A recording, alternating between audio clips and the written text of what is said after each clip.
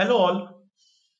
In this video, I will show you how to add second signature for reply and forward messages.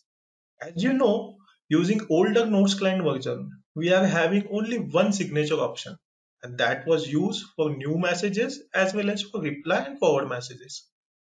That is not a problem if your signature is small or medium, but some people having very long signature which include a lots of thing in signature like images, URL, company address, profile, etc.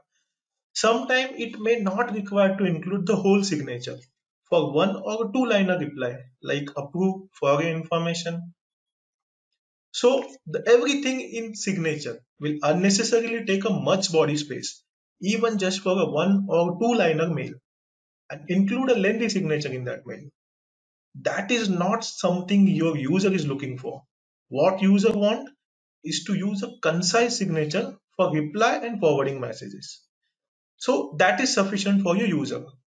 Now that you can do with the notes 10 and above.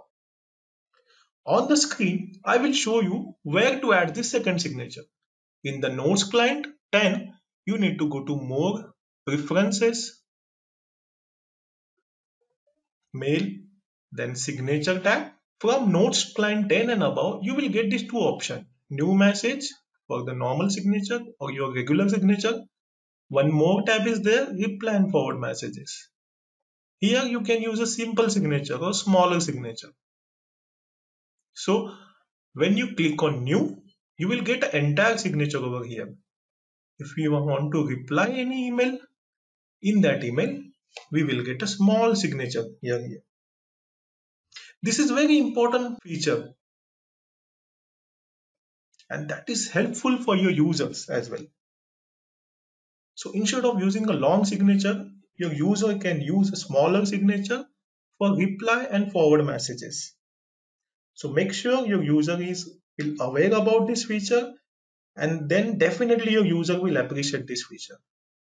I hope with this video you can able to add the second signature. Thank you.